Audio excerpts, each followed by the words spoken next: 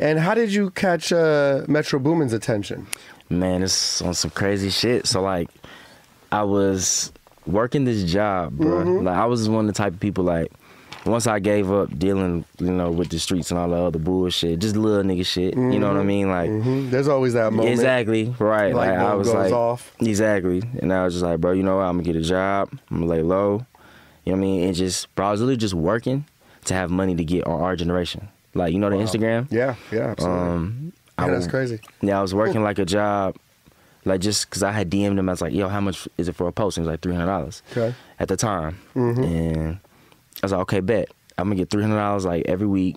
You know what I mean? And like I'm gonna save like two of my checks just to get two OGM posts like every month. Mm. And um, I ended up doing that. Yeah. Like, and I spent some money on some Twitter promo. I was like, fuck it, I believe in this song or whatever. I believe in this that. video.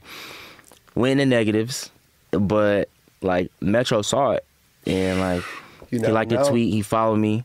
And I'm like, yo, bro, that's crazy. Like, this is Metro Boom. I really thought that she was like cap. I was like, nah, this is this his account got hacked. This Right. shit like it can't really be. him, Nah, right? like not for me. Like you know what I mean. Yeah. Like this is this is this is some shit that happened to anybody else. Right. But like for me, it was like, yo, bro, what? Like I DM'd him, and we just had a conversation, and then like a couple days later, like I met him, and then like our relationship just started from there, bro. Built from there.